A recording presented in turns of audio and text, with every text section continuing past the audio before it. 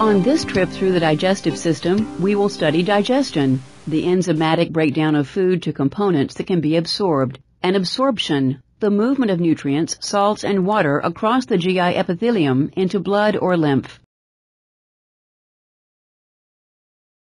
The carbohydrates that enter the small intestine for digestion include starch, its breakdown products from salivary amylase digestion, and the dietary disaccharides, sucrose, table sugar, lactose, milk sugar, and maltose, grain sugar.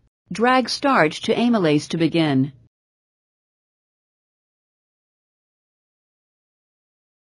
Pancreatic amylase continues the breakdown of starch in the lumen. It is identical to salivary amylase and maximally active at about pH 7.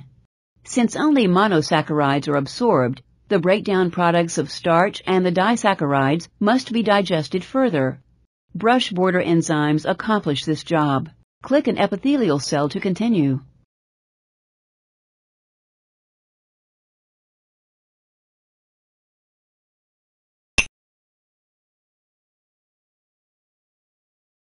A brush border enzyme called glucoamylase that lies close to the sodium glucose cotransporter breaks down maltose and maltotriose.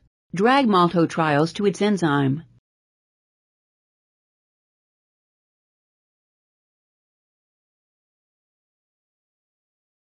A brush border enzyme called dextrinase breaks down small branched segments of starch. It also lies close to the sodium glucose cotransporter. Drag limit dextrin to its enzyme.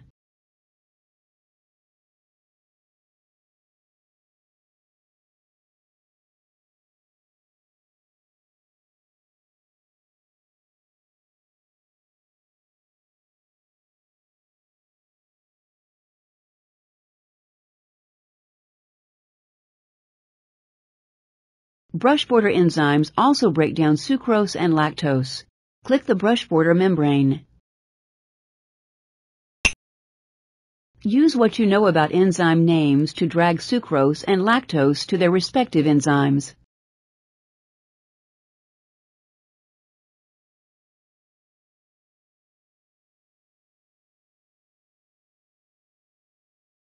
Drag glucose to a transporter.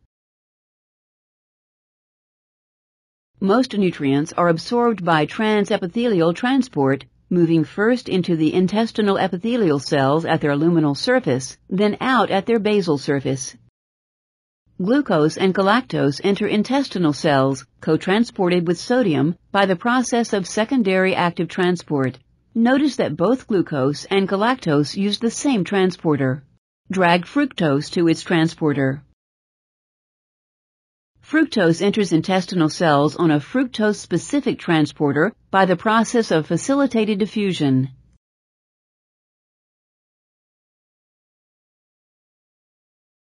Click the membrane to continue. All monosaccharides leave epithelial cells on a common transporter by the process of facilitated diffusion.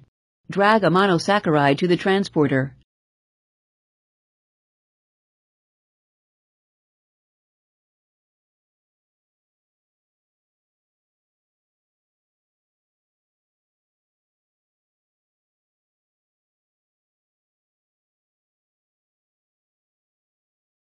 Notice that glucose, galactose, and fructose use the same transporter. They enter capillaries for transport in the blood.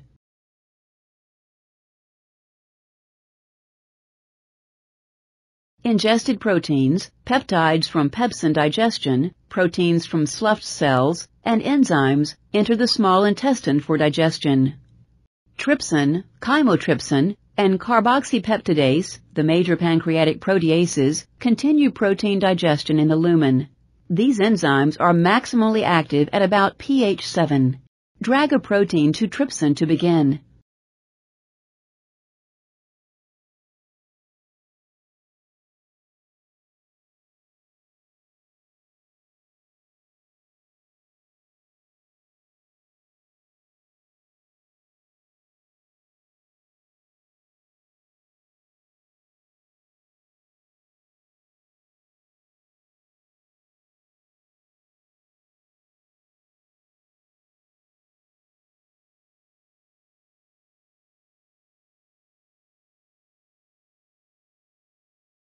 Trypsin and chymotrypsin cleave proteins into smaller peptides and some single amino acids.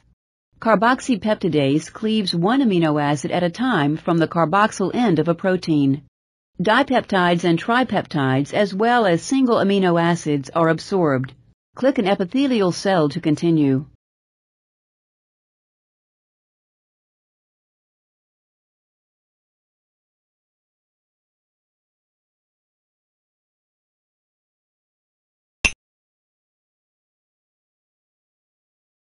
Aminopeptidase and dipeptidase continue the digestion of peptides. Drag a peptide to aminopeptidase.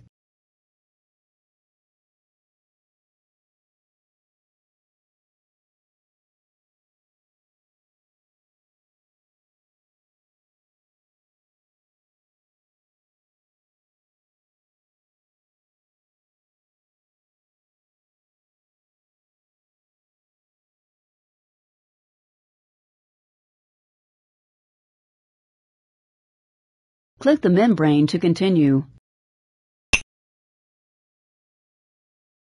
Many single amino acids enter intestinal cells co-transported with sodium by the process of secondary active transport.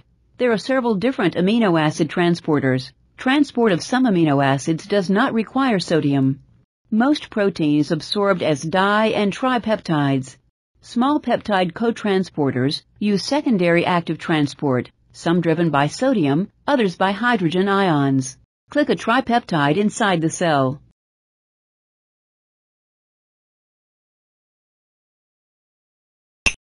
Di and tripeptides are broken down to amino acids inside the cells. Click the basolateral membrane to continue. Some amino acids leave epithelial cells by diffusion. The more hydrophobic the amino acid, the more likely it is to lead by diffusion. Other amino acids leave cells by facilitated diffusion or co-transport with sodium.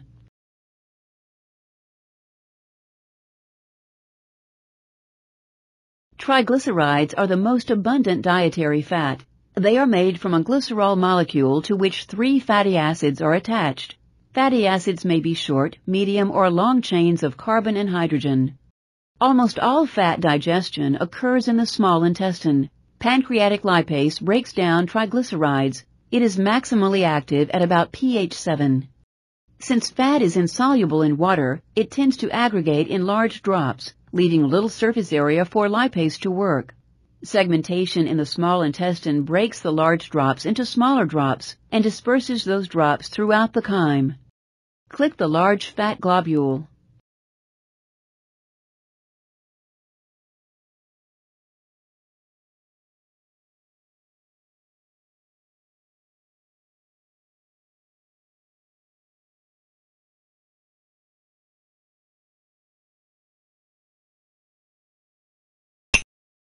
Segmentation in the small intestine does to chyme what shaking does to a bottle of oil and vinegar salad dressing. It disperses the fat layer into the aqueous layer.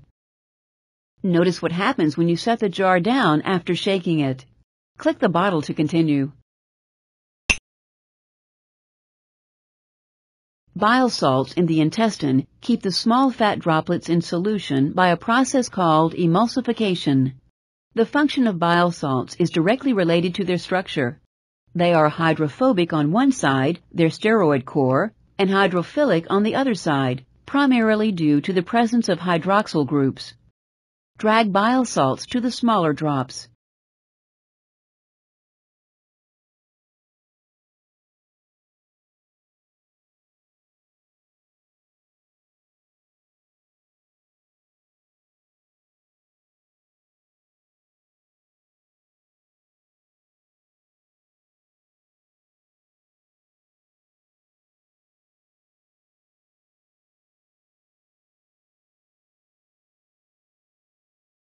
Keeping the small fat droplets in solution provides a large surface area for lipase action. Drag lipase to the small droplet. Lipase digests triglycerides to monoglycerides and free fatty acids.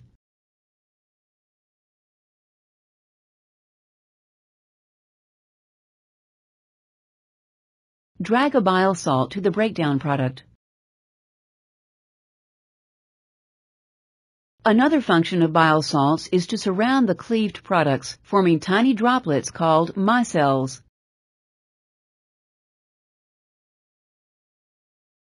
Micelles are a million times smaller than emulsified fat droplets. When micelles are in close proximity to the cell membrane, monoglycerides and fatty acids move out of them to enter intestinal cells by simple diffusion through the lipid bilayer. Click a micelle.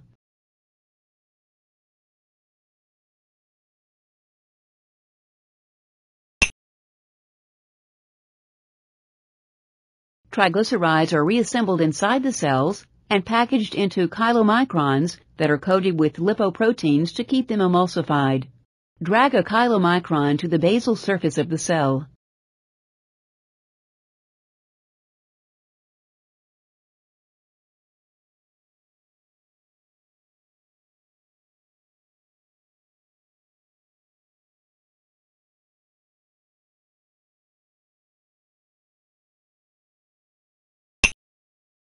Chylomicrons leave the cell by exocytosis.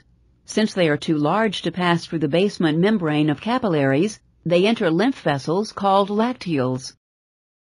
Click a fatty acid inside the intestinal cell.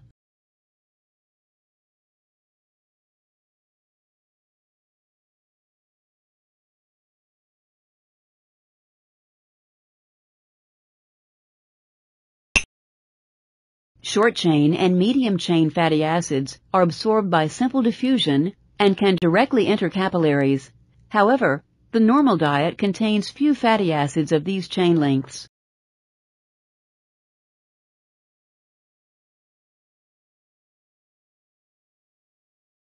Cells and secretions of the large intestine have no digestive functions. Resident bacteria break down some of the indigestible carbohydrates and use the released nutrients. These bacteria synthesize some B-complex vitamins and significant amounts of vitamin K that are absorbed. Vitamin K is essential for liver synthesis of some blood-clotting proteins. The colon absorbs small amounts of salt and water as feces pass through it. That completes our third and final trip through the GI tract.